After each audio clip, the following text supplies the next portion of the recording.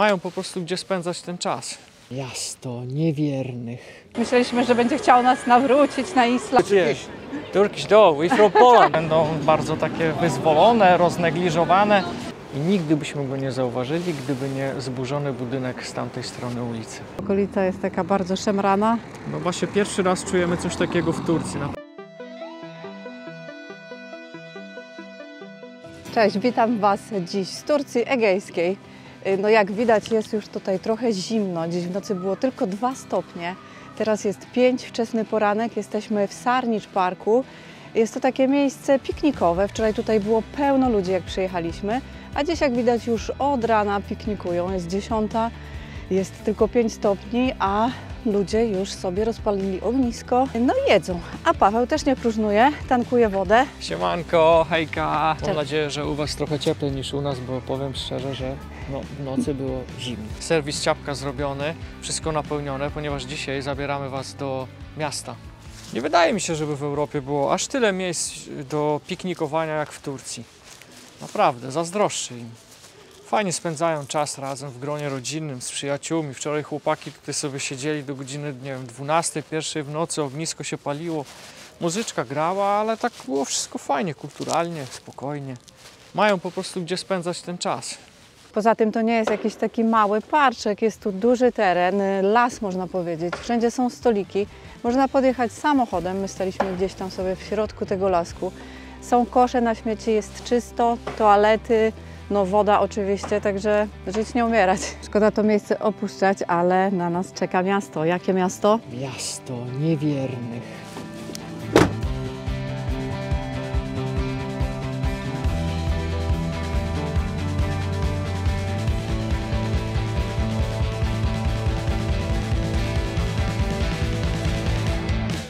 Dojechaliśmy w końcu do miasta niewiernych. Y, Cieszy się ono złą opinią wśród Turków i cieszy się też złą opinią na Park Fortnite. Sprawdziliśmy wiele miejscówek, no i okazuje się, że kradną, włamują się do vanów. No, pierwszy Więc- raz w Turcji z czymś takim się spotykamy. Stanęliśmy w takiej mało epickiej miejscówce, jest głośno, jest ruchliwa ulica.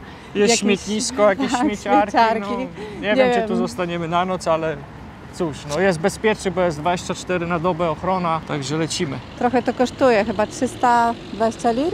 Tak, coś takiego. Zaraz się okaże, bo będziemy płacić i idziemy zobaczyć, jak to miasto wygląda naprawdę. A wy skupcie się razem z nami. Spróbujmy ocenić to miasto okiem Europejczyków.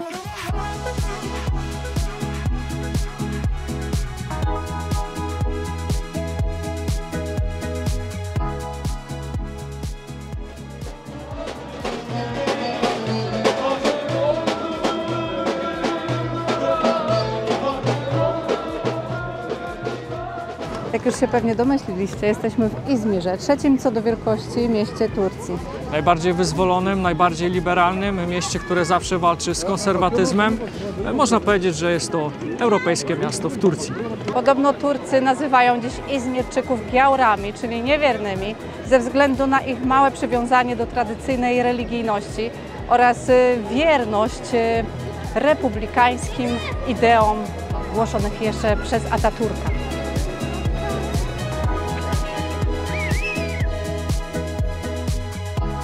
Jesteśmy teraz na placu Konak, e, najbardziej takim znanym miejscu w Izmirze.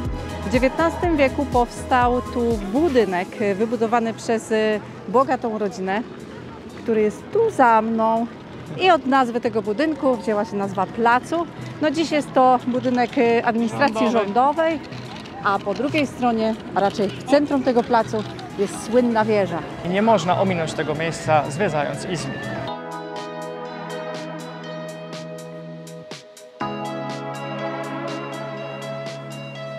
Tą piękną wieżę wybudowano w 1901 roku e, na 25-lecie rządów Abdulhamida II. E, no i dlatego między innymi ta wieża ma 25 metrów wysokości. Zegar na wieży został podarowany przez Wilhelma II i podobno nigdy się nie zatrzymał. Jedni tak mówią, a inni mówią, że zatrzymał się tylko raz w 1974 roku po trzęsieniu ziemi. Warto zatrzymać się też przy tym pięknym meczecie y, z XVIII wieku. Moją uwagę przykuły te stare płytki, które są cudowne. No oczywiście. Monika już szuka płytek do wana. Przed chwilą mieliśmy nawet okazję poznać e, tutejszego imama, który z Mustafa. nami się, tak, Mustafę, który się z nami przywitał, e, pogadał chwilkę, no w sumie poszedł sobie. Myśleliśmy, że będzie chciał nas nawrócić na islam, ale nie, nie, nie. Dobra, lecimy dalej, bo spędzimy tutaj cały dzień, zanim się ruszymy do przodu. Hey, hello. Hello, How are you? You okay? I'm okay, thank you, sir. How are you? I'm good, good, yeah. Turkish? Turkish, no, we from Poland, Polonia. Dzień dobry. Dzień dobry. How are you? Welcome to Turkey. Yeah, thank you. Clock Tower. Yeah, yeah, yeah, we know. No jak na razie miasto bardzo nam się podoba. Turcy są bardzo otwarci, cały czas nas zaczepiają, zagadują. Y, No też ciągną już na bazar, który jest tutaj w pobliżu. Który jest olbrzymi. Olbrzymi, tak. Na razie na bazar nie idziemy. Y, No Turcy mówią na Izmir Güzel, czyli piękny. No i mają w tym trochę racji. Podobno też e, są tu najpiękniejsze kobiety z całej Turcji. Także no. Wydawałoby się, że będą, jak to wszędzie tam piszą i mówią, że będą bardzo takie wyzwolone, roznegliżowane, no ale na razie nie widać tego. Normalne dziewczyny, fakt, że są bardzo piękne. E, Ale to bardzo poubierane. Ale bardzo poubierane. Może dlatego, że jest tylko 10 stopni. możliwe.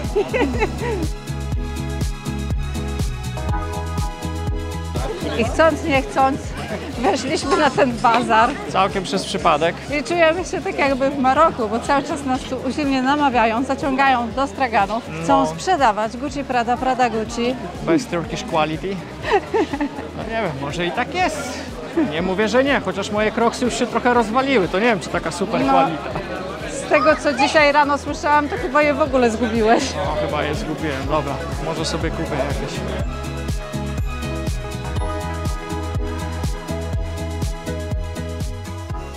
Ginger, Możemy e, wziąć. imbir. Tak. Taki mniejszy wezmę może. Wzięliśmy herbatkę. Ja na co zwróciłem uwagę, to zobaczcie na kadzidełka. Odpala się je i sobie okadzamy domek. Bardzo ładnie pachnie. Różne herbaty są. Duża paczka po 50 lir, tamte mniejsze co my wzięliśmy po 25. Sklep z artykułami zdrowotnymi. Co to jeszcze jest? I tak doszliśmy do dzielnicy Kemeralty, idąc tym bazarem. Jest to praktycznie jeden wielki bazar, ale jeżeli komuś się znudzą stoiska na ulicy, to może sobie wejść do hali, tam z tyłu za nami ona się znajduje. Hala nazywa się Kizralasi. Kizralahasi Hani. O, jeszcze Jest- trochę i jest- będę mówił jak Turek. Jest to hala z 1744 roku i niestety dziś jest zamknięta. Dzielnica Kameralty jest e, dużo bardziej kameralna. Jest tu dużo taniej niż tam na początku tego bazaru. No i też nie ma takiego namawiania, naciągania. Dużo lokalsów tu je, robi zakupy. Y, I co jakiś czas można też się natknąć na jakąś osmańską budowlę. Także bardziej nam się tu podoba niż tam na samym początku. Przepraszam, że tak nagle się zatrzymaliśmy, ale jakbyście zobaczyli jaki tu bruk jest, tu pani idzie z wózkiem i ledwo, ledwo ten wózek pcha. Ja myślę, że to jest jeszcze taki stary bruk właśnie z czasów osmańskich czy otomańskich.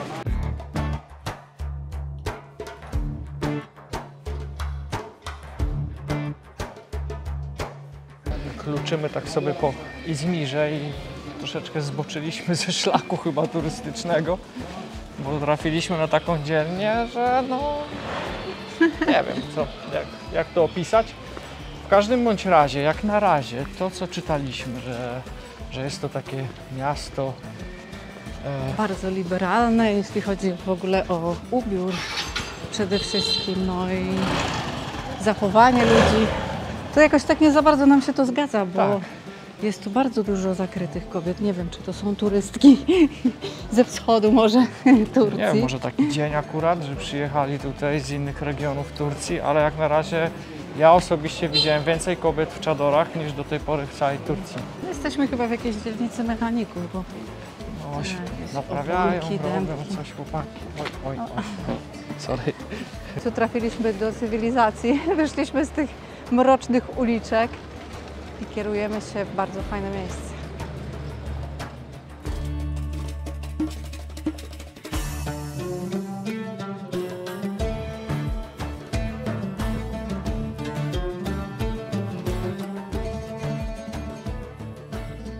Jeśli ktoś chce uciec od zgiełku miasta, e, warto odwiedzić Park Kultury. A Jak sama nazwa wskazuje, jest tu wiele miejsc kulturalnych, jak teatr. E, można troszeczkę zażyć rozrywki w Luna Parku. Są muzea, Tak, dokładnie. egipskie obeliski, fontanny i dużo zieleni przede wszystkim. Można powiedzieć, że jest to takie y, zielone serce Izmiru. Tak, ja jestem bardzo mile zaskoczony, że miasto wygenerowało aż taki duży e, teren na, na budowę tego parku, bo naprawdę jest gdzie pochodzić, jest gdzie odpocząć.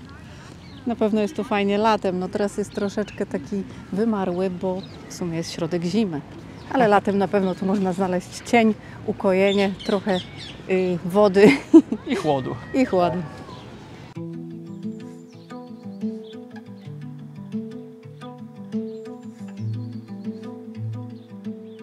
Spacerując y, uliczkami tego pięknego miasta, nie wspomnieliśmy Wam jeszcze, że Izmir jest spadkobiercą starożytnej Smerny, która powstała w X wieku przed naszą erą. Ślady antycznej Smyrny możecie znaleźć w centrum miasta. Znajduje się tam agora. Bilet wstępu kosztuje 130 lir. E, Naszym zdaniem równie dobrze można podziwiać to miejsce z zaogrodzenia. Bardzo dobrze wszystko widać, ale jak ktoś chce wejść do środka, to czemu nie? Y, Agora pokazuje, jak Smyrna była potężnym miastem, bo no, te pozostałości widać, że sama Agora była ogromna, co rzadko się zdarza w tych starożytnych miastach. Y, No, także dlatego mamy teraz pewnie taką metropolię tutaj. Tak, a drugim takim miejscem jest wzgórze, które tak pięknie roztacza się nad Izmirem. Na wzgórzu tym znajduje się twierdza, no i tam zaczęła się cała historia. Najtragiczniejszy okres tego miasta przypada na rok 1919, kiedy to Smyrna trafiła w ręce Greków. Y, Turcy odzyskali ją po trzech latach okupacji w 1922, ale po czterech dniach wybuchł tutaj pożar. O podpalenie posądzano Turków, y, Greków, a nawet Ormian, ale tak naprawdę nie doszli, kto się do tego przyczynił. W każdym bądź razie całe centrum y, miasta spłonęło później zostało odbudowane z popiołów. Dobra, koniec już o Smyrnie, która oficjalnie stała się Izmirem w 1930 roku. Idziemy teraz pochłonąć dalej atmosferę tego miasta.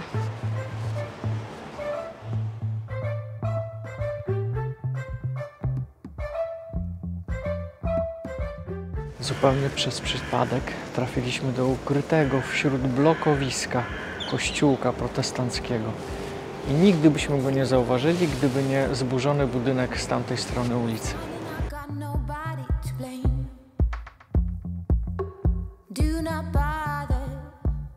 Słuchajcie, jest to miejsce, które zostało zbudowane przez Holendrów w XVII wieku. Y, Teraz jest to cerkiew y, prawosławna. Idziemy zobaczyć do środka.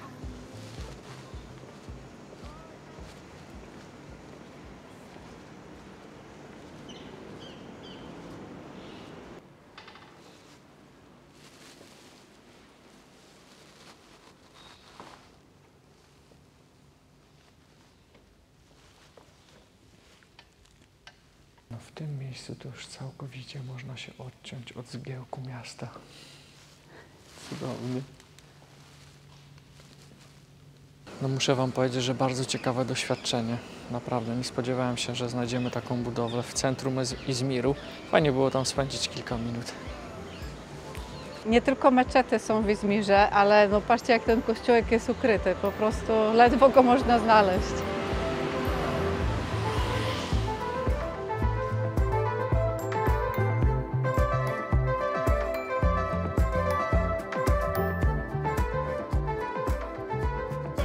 Wow, ale czad, nie Moni? Super, chyba tu coś zjemy w końcu.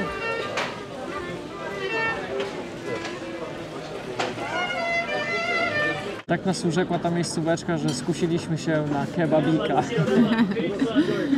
W każdym dużym mieście musi być duży kebab.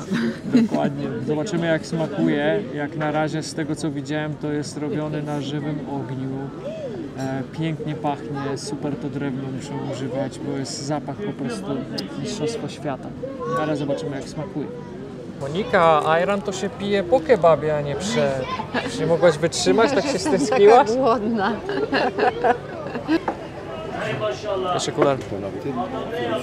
Turkish office. Guten Abend. Guten Abend.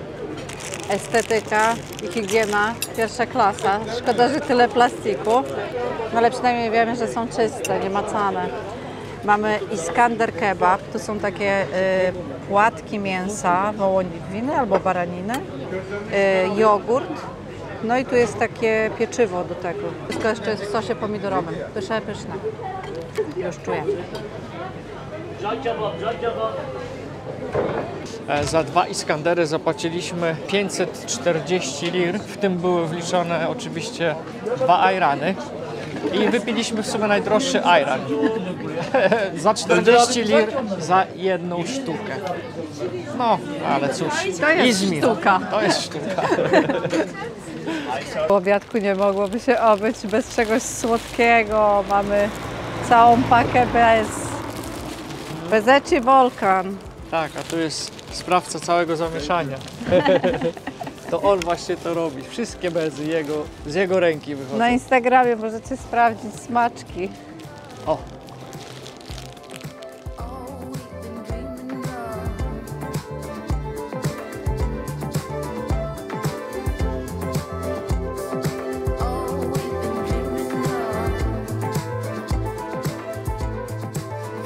powolutku zmierzamy do Wana. Robi się zmrok. Obczajliśmy wieża zegarowa. Po zmroku wygląda pięknie. Chyba piękniej niż w ciągu dnia. Jednak światło zawsze robi fajną robotę. Tak samo jak te za mną, światełka. Jeszcze świąteczne. Nie chcę im się posprzątać chyba po świętach. Idziemy powoli do Wana. Nie wiemy jeszcze, czy zostaniemy tu na noc. Zastanawiamy się. No mamy, takie, mamy taki dylemat, bo Monika myśli, żeby zostać. Mi za bardzo się to miejsce nie podoba. Boję się, że te śmieciarki zaczną rano wyjeżdżać i jutro czwarta rano będzie pobudka. No i Ej. może wjedziemy na tą górę, na twierdzę. Właśnie tam mam ochotę Monię zabrać. I was też. Zobaczymy, co, jak to się wszystko skończy. Właśnie to wzgórze nas kusi, tam gdzie powiewa ta flaga.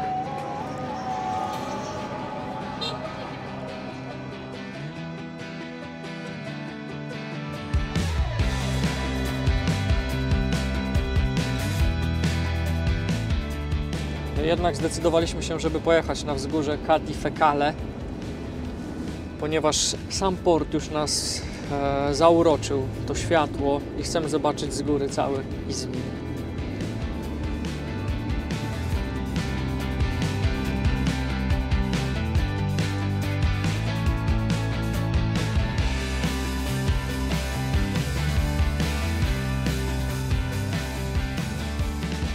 Widoki są przepiękne, ale okolica jest taka bardzo szemrana. No właśnie pierwszy raz czujemy coś takiego w Turcji, naprawdę. Od tylu miesięcy pierwszy raz coś takiego poczułem. Niby Grupy są- dzieciaków, e, zatrzymaliśmy się na jednym parkingu, chciały od nas pieniądze.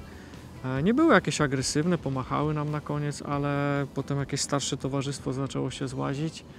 E, także spadamy stąd. Otoczyli nas w 3 sekundy. No. Jest kupę miejscówek, można tu gdzieś by było stanąć, ale niestety no, są No tu i- takie biedne budynki rozpadające się dookoła tej No twierdzy. właśnie, i to takie dziwne jest. W ogóle na tej, ta, z tej twierdzy to tylko mury pozostały. Ja myślałem, że to jest jakiś kompleks, za to się płaci, zwiedza, a tu nic. Po prostu przejeżdża się przez bramę i, i wyjeżdża z drugiej strony. No. Także uciekamy stąd, ale widoczek jest Dla naprawdę widoku warto było tu wjechać.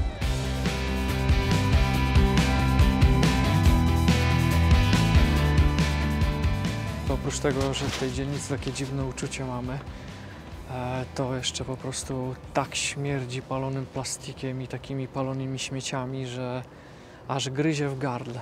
Naprawdę, szok. No, słuchajcie, ciekawie się tu robi.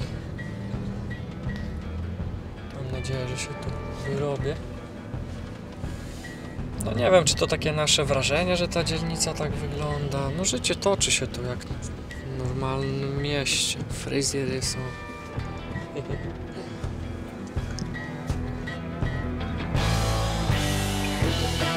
Jak już widzę autobus, to znaczy, że już można tamtędy jechać. A jak już się dwa autobusy mieszczą? No a znaczy, że co, ja mam jechać za nim? Co oni w ogóle robią? A Gdzie ja mam wyjechać teraz? Zawadził go. Prawie. Zawadził go. Serio? Żeby płynęło. Uważaj, bo nas też może zawadzić. Nie No, pewnie, staram się.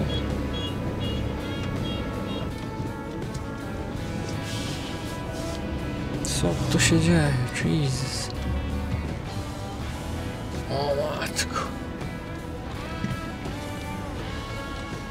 Dobra, ja już stąd wyjechać jak najszybciej. Sakra normalnie. Ale autobusiarze to tu mają niezłą przygodę codziennie z tym mijaniem się.